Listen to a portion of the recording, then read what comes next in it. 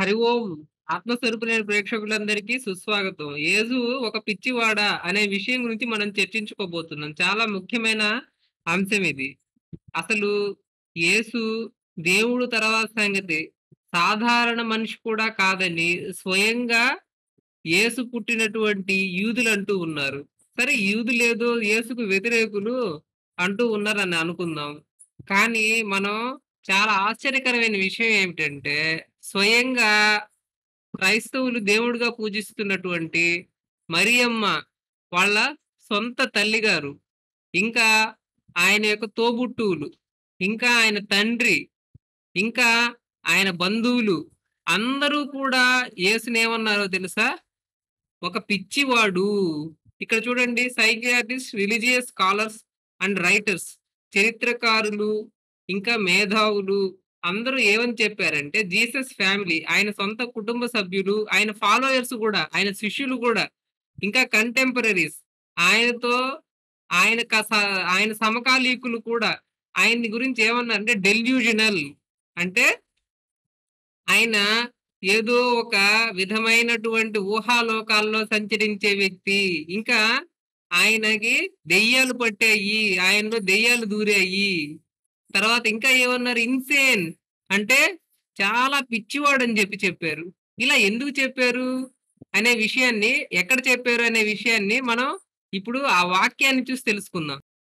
చూడండి మార్కు సువార్తలో ఏం రాసిందంటే ఆయన యొక్క కుటుంబ సభ్యులు, సొంత కుటుంబ సభ్యులు ఆయనే అందరికి పరలోకం ఇస్తాను. నన్ను ఫాలో అవ్వండి. నేను దేవుడు కుమారుణ్ణి నేను దేవుడిని. నేను వ్యాధులు నయం చేస్తాను. అలా అంటున్నాడు మీ వాడని వాళ్ళకి చెప్తే వాళ్ళు ఏమన్నారంటే హీఈస్ పొసెస్డ్ బై వీల్ జబుల్ వీల్ బీల్జెబుల్ అనే ఒక దెయ్యం అన్నమాట. ఇక్కడ మనం ఏదో కామ పిశాచాలు శంకిని, లంకినీలు అంటుంటామే అలాంటి బీల్ జబుల్ అనే ఒక పిశాచు వీడికి పట్టినట్టుంది. And by the prince of demons he cast out the demons. అంటే అతనికి ఒక దెయ్యం బట్టి అలా ప్రవర్తిస్తూ ఉన్నాడని స్వయంగా ఆయన కుటుంబ సభ్యులే అన్నారని మనకి మార్కు సువార్తలో స్పష్టంగా రాసుంది.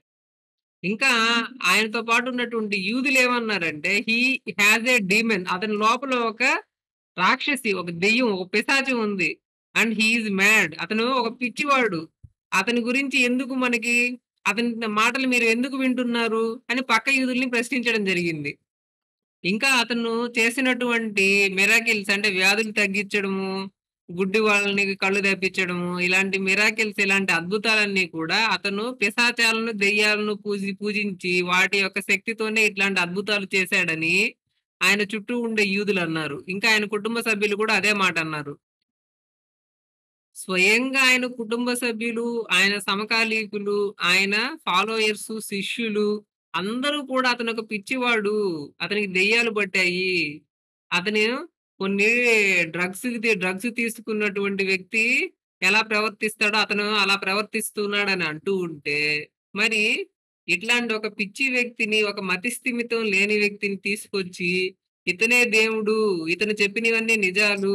అతను చెప్పినటువంటి పరలోకము ఇవన్నీ నిజంగా ఉన్నాయి అని పిచ్చివాడు ఏదో ఆ పిచ్చిలో చెప్పిన మాటలన్నీ నిజాలుగా ప్రచారం చేసి మనందరినీ మనందరిని పిచ్చివాడు చేస్తూ ఉన్నారు ఈ పాస్టర్లు.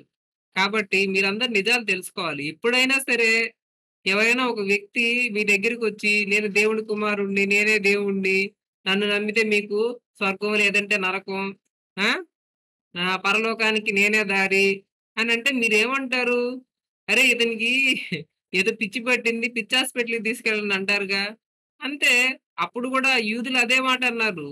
అప్పుడు కూడా ఆయన కుటుంబ సభ్యులు అదే మాట అన్నారు. సరే కనీసం మీరు ఇటువంటి మాటలు చెప్పి మీ కుటుంబ సభ్యులను నమ్మించగలరా?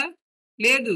ఎందుకంటే మీ సంగతి మీ కుటుంబ సభ్యుల కంటే ఎవరికి స్పష్టంగా తెలియదు అదే విధంగా ఈ యేసు యొక్క సంగతి వాళ్ళ కుటుంబ సభ్యులకి తెలియదు తెలుసు. అమ్మ అమ్మ పుట్టినిల్లు మేనమామకి తెలియదా అన్నట్టు యేసు యొక్క సంగతి అంతా ఆయన కుటుంబ సభ్యులకి తెలుసు.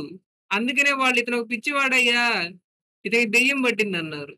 ఇంకా ఇంతకు మించి దీని గురించి వివరణ అవసరం లేదని అనిపిస్తూ ఉంది. దీని గురించి మీ కామెంట్‌లు తెలియజేయగలరు. హరి ఓం.